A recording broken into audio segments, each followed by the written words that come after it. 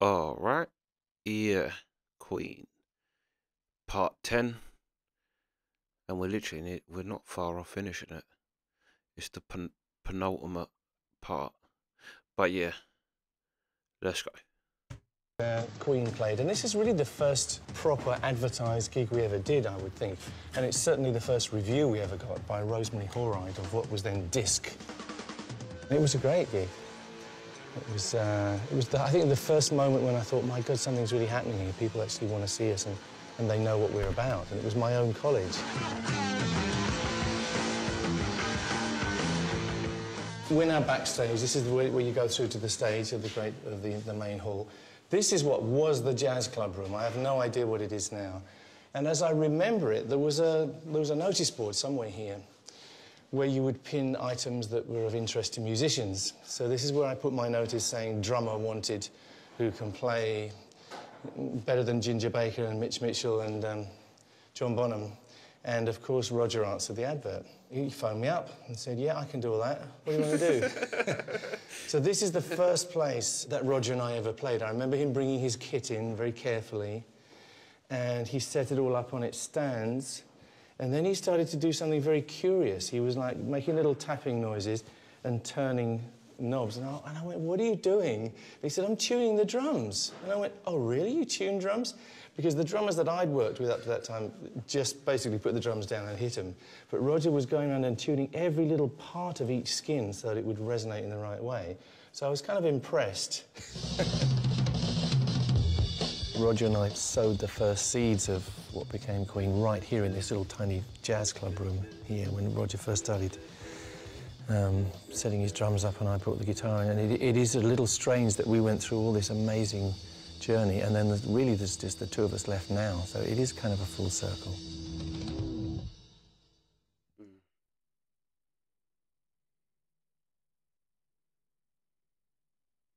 I sat in hospital for quite a while thinking about all this, but with all these wonderful memories of the tour going around in my head. And that's when I wrote um, Now I'm Here. Now I'm Here was a sort of, in a sense, a chronicle of that tour. And um, I remember thinking, I wonder if I'm ever going to get out of here and actually be able to play this. Um, eventually we did. I have many memories of that time. I remember the boys, they were still working on. And I think we'd done the backing track for Killer Queen and they brought it in with some harmonies on. And me being precocious boy went, I don't like them. you know, they sound too harsh. Now, I don't know if I was right or I was wrong, but Freddie went, yeah, I think you're right. Uh, we'll go back and do them again. So they actually waited until I came out to redo the harmonies and we redid them. So Killer Queen would have sounded very abrasive. I don't know if that stuff is still around, it maybe, I don't know. But we redid them and, and they became a bit more, um, bit more melodious, I suppose.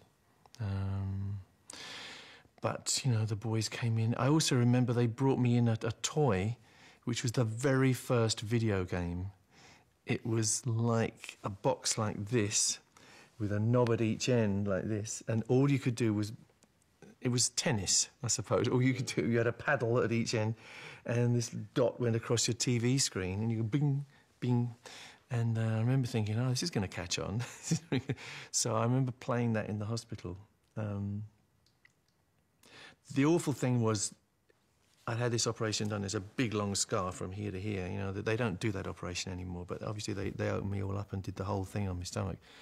And the worst thing is when you laugh. You know when you're trying to recover from this stuff, you do not want to be laughing because it's the most painful thing in the world. So you know the people who thought they were funny would come in and tell me jokes. And so I was grateful to have this video game so I could just play without laughing, but amuse myself in a sense. And I did some painting in there. I remember I did some, you know, some watercolor painting in there. It was a bit of a long, it was a bit of a long haul back to, to health. But all the time, the, the songs were going around in my head as well, and I was just hoping that I would get back out there and finish the album, which we eventually did.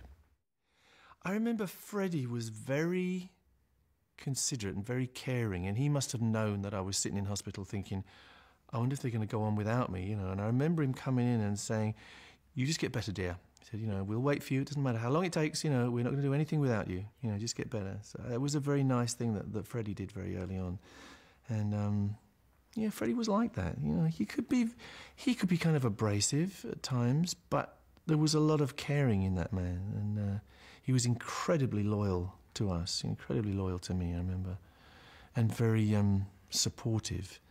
Um, you know, I, I can remember him. You know, he would surprise you, Freddie. I remember coming in one day late to the studio, and Freddie was sitting there with a big smile on his face. And I said, "What's he been doing then?" You know, he said, "Oh, you wait, you see." He said, "Just listen to this, darling. Just listen to this." And he put on this tape, and it was a compilation of every guitar solo that I'd ever played, and he'd woven them into some kind of tapestry. I wish I still had the tape. I don't know where it is, but he, you know, he said, "I wanted to immortalise your solos." We just had a few minutes, you know, and it was a great little thing. He said, "Here you are, you know, this is," uh, and he he signed it for me, you know, like, and um, you know, which is it was a very nice thing to do, you know, just to sort of make me feel um, appreciated, I guess, you know.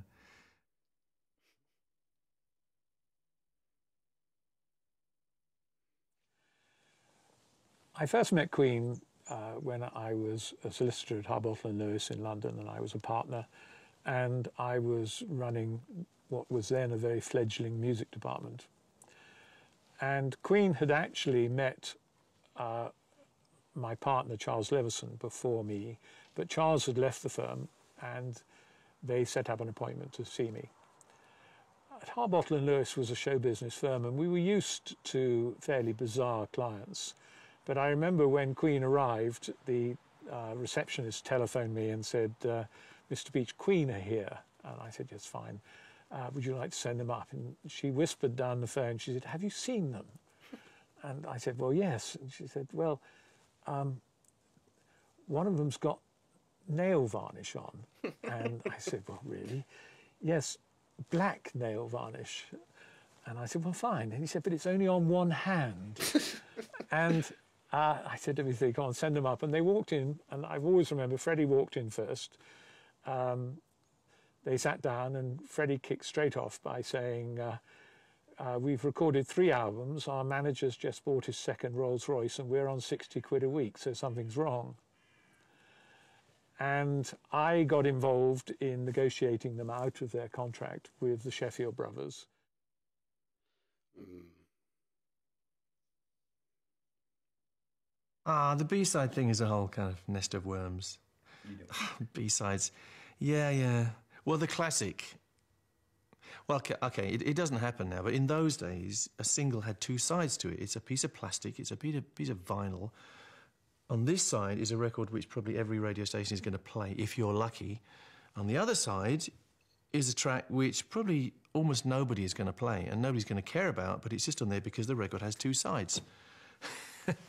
you know, it goes back years and years and years. Occasionally you'd have a double A side so people could play both sides, but normally it was nothing. Now, what happens is when it comes to getting paid, the record royalties for writing the tracks are split 50 50 between the A side and the B side, which is clearly an unfair situation, but that's the way it was. So whoever got the B side got a free bonus. He got a great, you know, wodge of money from nowhere. And um, there was always some kind of resentment would go on. The classic case, of course, as, as Roger will tell you himself, you know, is um, I'm in love with my car was with the B, B side of Bohemian Rhapsody. So I'm in love with my car became one of the biggest earners in terms of a, of a song of all time. So we were all a bit like, hmm. um, and it became a joke, you know. And uh, Roger probably got un unfairly victimised for it, but he enjoyed it. I think. I think he, enjoyed spending the money. So um, it's fine. But you know, we were always kind of aware of that stuff. So we tried to share out the the B side so we would. Because there's no other reason of having a B side except, as I say, because it, it's, it's possible to put a track on there. Um, of course, it all changes later on because CD singles are different. You can put quite a few tracks on them. And these days, a, a single seems to be a track that you download and that's it. So it, it's, it's a long forgotten nest of worms, and I'm quite glad that it's, uh, it's over, really. I'll tell you who are a great B side band is Oasis. Like Oasis's B sides arguably are better than the A side in some cases. And they were ones that would put you'd get free B sides to the single. So you'd get four tracks on it and then three tracks that aren't on the album. And honestly, some of their best stuff is on the B sides. Honestly. Yeah, a lot more of their like more quirkier stuff. But yeah, hold on two secs. Yeah, before we carry on as well, now I'm here since they mentioned it. That's the one I always still because it's now I'm here. Still to this day, if I haven't thought about that song for ages and I think I think, oh, what's that song?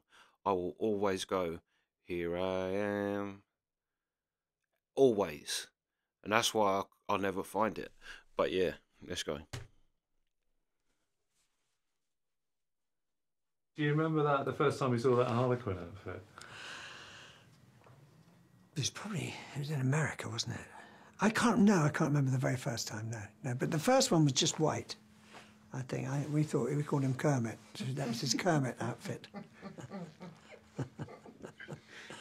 I remember the look on the road crew's face was they were astounded.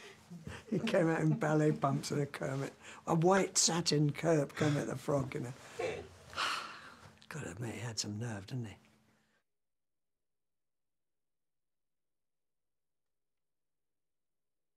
Started it off in England actually. We had some time off, and um, Another great bass. I'd always wanted to do something a little bit more that was more sort of disco really, which was very uncool at the time. You know, it wasn't the sort of thing. You know, uh, but l- luckily in a way it came out quite heavily. But I started it off with actually a completely different set of lyrics. It was all about cowboys, which is why the, the American phrase "No one bites the dust" came in really. But then I thought that was very silly. I, I, never, I never even got to show that to the band. I decided to change it before then. So I, you know, changed the lyrics altogether. And uh, we recorded it in Munich, a lot of it really, and Freddie helped out a little bit, you know, said, oh, like, we need something a little bit different there. But it was basically ultra, ultra simple, really. And um, in fact, uh, we used, um, you know, a, a drum loop, uh, you know, for the thing, because it was just so simple, and that's all I wanted all the way through, something just solid, really. And that was the way of doing it. Because it wasn't the sort of music everybody, you know, we, we played at all, really. And, and I think uh, the band was as surprised as, as I was that it became so successful. I mean, especially in America.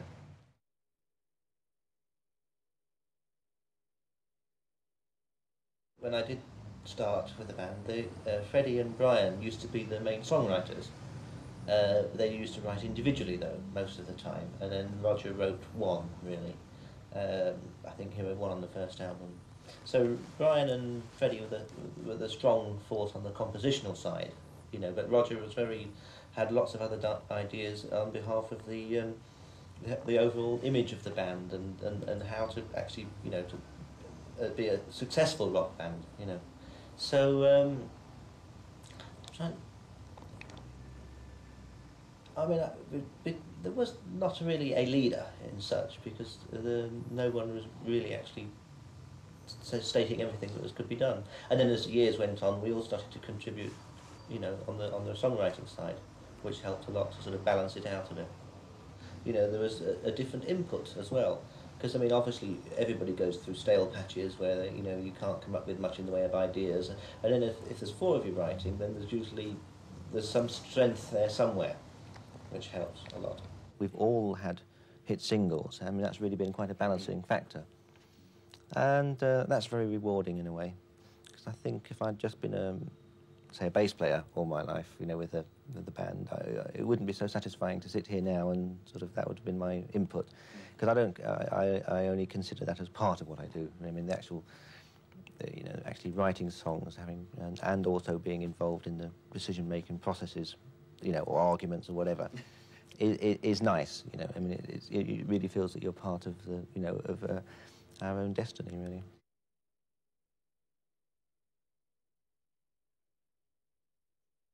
We were in New Zealand and uh, on a, for our one big gig in New Zealand in the big football stadium or whatever it was, rugby stadium.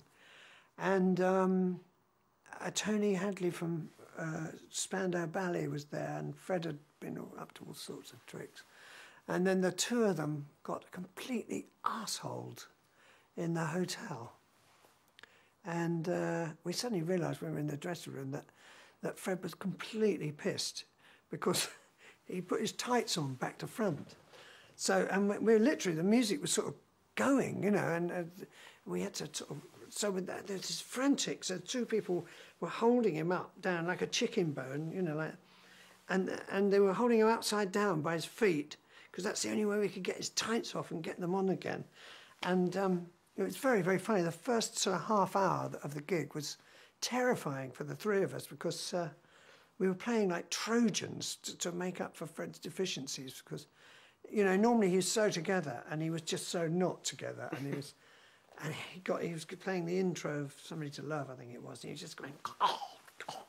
And in the end, he just banged the piano with his head like that, so, and somehow pulled it together, and just you know just pulled it all together by sheer force of will, and you know, it was very very funny for about half an hour. Were you, were you, were you ever annoyed? Did you think, oh, what's he done that for? Come on. No, we were just so worried he was going to collapse. Um, that, but uh, he was a tough guy. Did Hadley come on stage with you? Hadley came on at the end, but couldn't remember a single word of Jailhouse Rock. But there we are.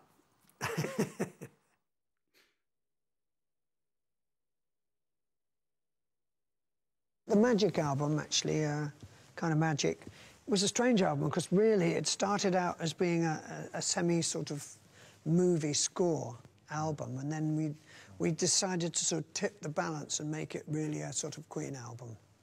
No, I, I don't know what prompted Russell to get in touch with us, but he said, come down to a screening theatre in Soho and have a look at this and see what you like. And we went and we saw the opening scenes and, and then the, I think the love scene in the Highlands. And we thought it was magnificent visually. You know, it wasn't by no nowhere near finished by, by then. And we just thought that's really great. We could do some good stuff on that. And... Uh, so we, you know, and that that that inspired Brian to write "Who Wants to Live Forever," and then I I wrote kind of magic off that uh, again, nicking the line from the film, and uh, um, and uh, yeah, that, that that that sort of that was quite a nice uh, experience actually.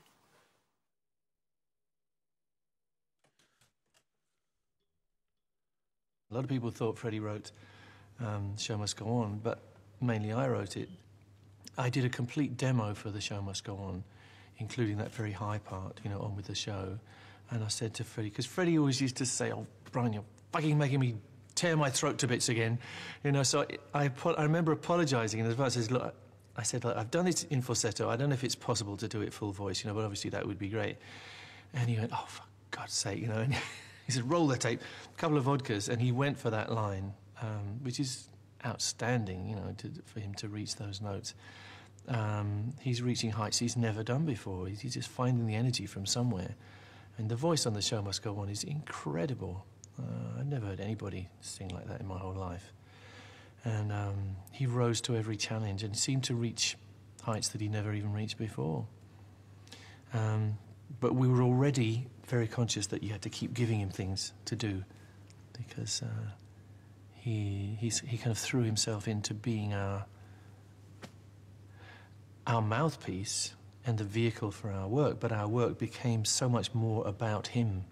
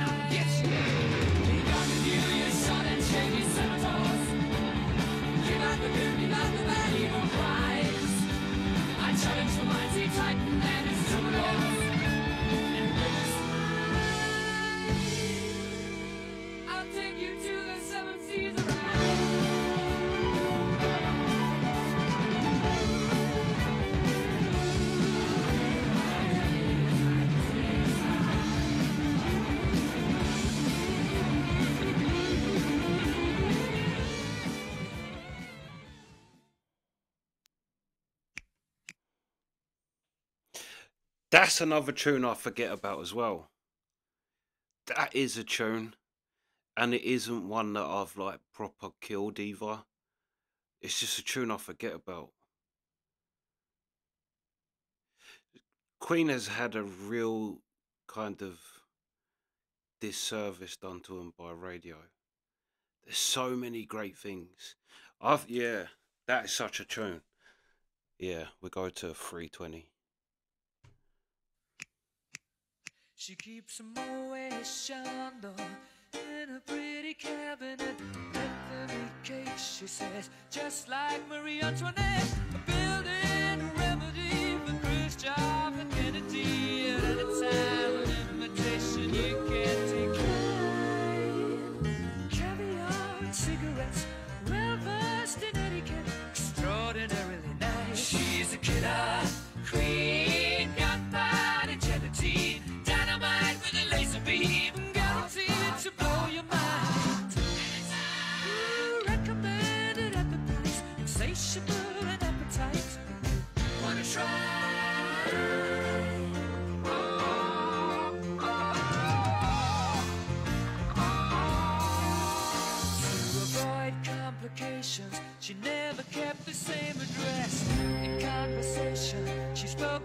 Like a baroness.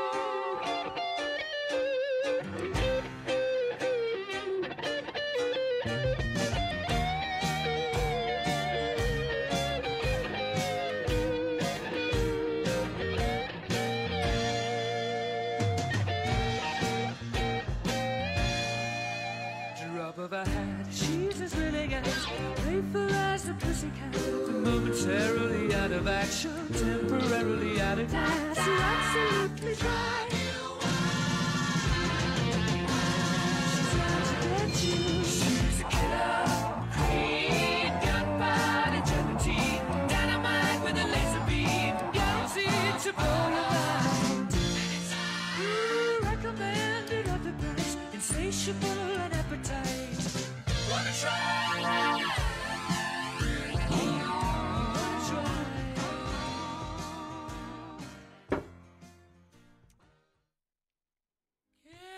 Yeah, that's a tune. That's not one I'll forget.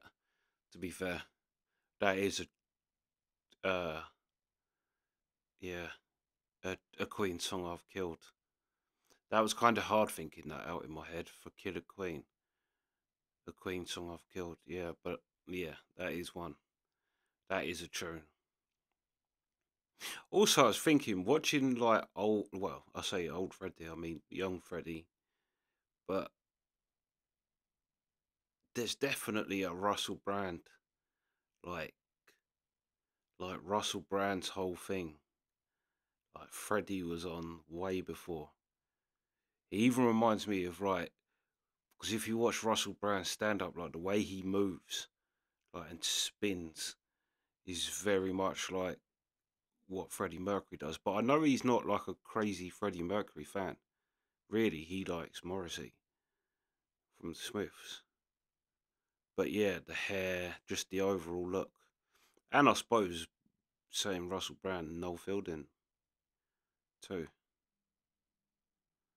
Yeah. But yeah, anyway, that's part 10. S-